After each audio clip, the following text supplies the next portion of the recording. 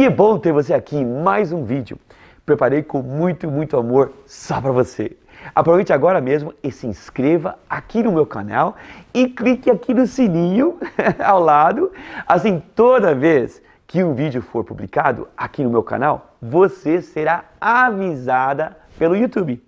Ah, que ah, está a risco para as varizes? Claro, a idade. Por quê? Olha, o coração bate, manda o sangue para as pernas e o sangue é devolvido ao coração pelas veias. A artéria leva, veia devolve. Claro, subindo o corpo humano, né?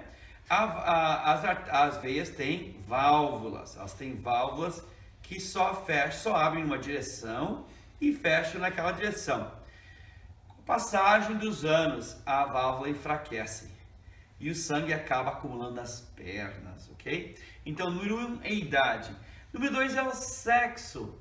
Claro que mulher mais risco, porque os hormônios femininos elas ah, relaxam as paredes da veia, das veias. Número 3, claro, a gravidez. Olha o que acontece na gravidez. Menos retorno do sangue das pernas para o tórax. Por quê? Porque o bebezinho crescendo no útero, o útero coloca pressão na vena cava, aquela enorme veia no fundo do seu abdômen que devolve sangue para o coração, ok? Ah, outro risco é a sua posição de trabalho, posição do dia a dia. Pessoas que estão de pé demais pode ter risco para ah, varizes e a pessoa que senta demais, ok?